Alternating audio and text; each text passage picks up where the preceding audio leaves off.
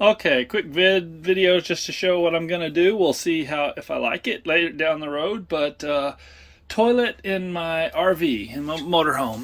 What Basically what happened, excuse me, uh, obviously the toilet's removed and we got this flange sticking up.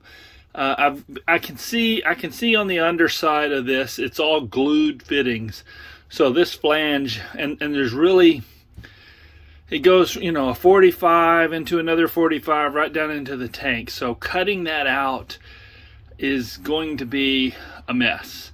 And what the problem that I had was this side, you can, maybe you can see the shiny part of it. I, I used some epoxy glue, some uh, JB Weld quick setting epoxy, said it was good for ABS, which is what this is. I've used that and repaired it, but basically if you can see a little section here, the, the ABS plastic cracked and this bolt just pulled up. So when you sit on the toilet, if you, if you leaned a little sideways, this side would come up. There was nothing holding it down.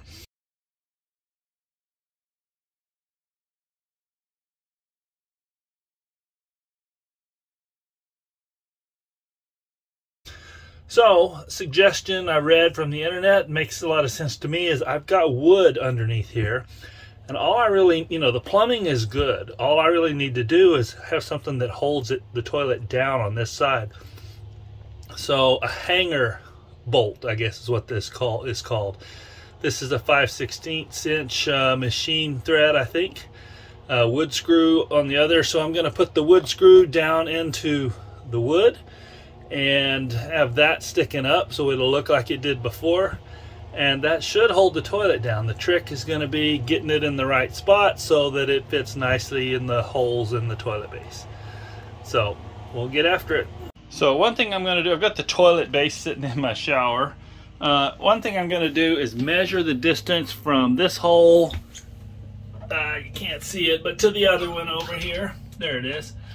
I'm gonna got my tape measure gonna measure that distance so that I, I hit the right spacing. And to my eye it looks like about 15 centimeters or 5 and 7 eighths inches center to center what I need to hit. So as you would expect it looks like if uh, if I've got the plastic glued back in the center of the channel on the left and the right are at the right distance the 15 centimeters or 5 and 7 eighths. So we'll just drill a hole straight across on this side where the broken part was and uh, go from there.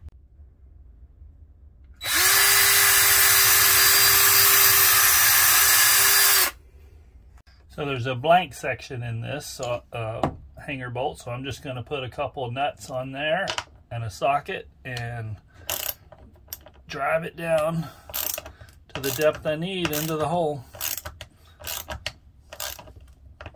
And we'll see if it fits, but now I have one that's pretty fixed.